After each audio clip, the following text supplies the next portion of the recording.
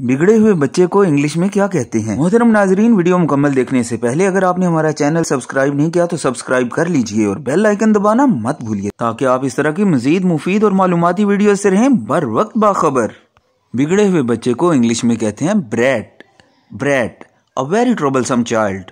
एक ऐसा बच्चा जो बहुत परेशान करता हो। ब्रैट नाउन है, इसे एडजेक्टिव बनता है bratty. Bratty means an ill mannered child impolitely unruly. Thanks for watching.